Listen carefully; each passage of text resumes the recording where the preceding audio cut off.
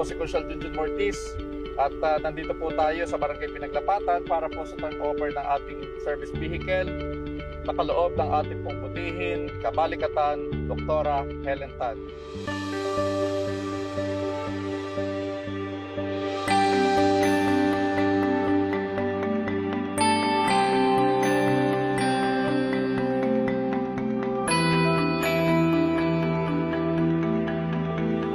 Pag napirmahan po ang deed of donation at ito po ay nanotaryo, yan po inyong inyo na.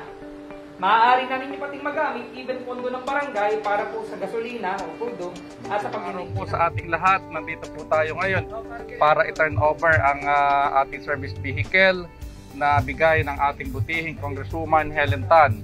At ah, sana po kapitan na ito inyong ah, ingatan at magamit sa pagsiservisyo sa ating mga kabarangay. Kasama po ang ating butihing Vice Mayor L.A. Ruanto at syempre po ang inyong lingkod si Consul Junjun Mortis.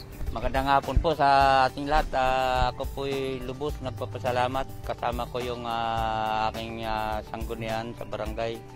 Ah, ito po'y malaking ah, ah, bagay po sa amin na kami ay nabigyan ng isang ah, service vehicle dito sa aming barangay. Ah, Ito po ay lalo't higit kung mayroon pong ah, kalamidad. Ito po ay isang uh, napakang halaga na ito po ay makapag-rescue sa amin sa aking kabarangay para po makarating sa aming ah, evacuation center.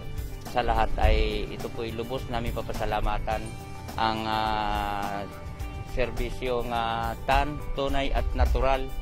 Ito po at ah, kanyang mga kasama na si ah, Vice Mayor L.A. po Ron. sa nagkaloob mula po sa sariling sikap. Ibig sabihin, bagamat hindi po galing sa pundo ng gobyerno, sa pagkatulungan ng kanilang pamilya at mga kaibigan, andito po, palakpakan natin Congresswoman Dr. Helen Tan. Maraming salamat. Ah, sa ating pong uh, parish priest, kay Father Nelbon, sa ating pong uh, kasama sa paglilingkod, Bukal Jerry talaga, maagap at masipag talaga.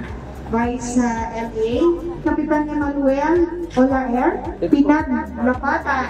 Mabilisan lang po, Barangay Service Vehicle. Ang tawag ko po dyan, multipurpose service vehicle para multipurpose hall kasi hindi isang isang bagay lang ang pinagagamitan. Hindi lang para sa gawain pang barangay, kung hindi even yung mga nangangailangan po ninyo ng mga kabarangay, no? So, yan po ay ah, galing sa sariling sikap pa program ng aming pamilya, pinagtulong-tulungan, may deed of donation po yan, no? So, maraming maraming salamat po sa inyong lahat at mag-iingat po kayo pag uwi niyo po sa inyong, inyong mga tahanan. Mag-ingat po kayo. Maraming salamat.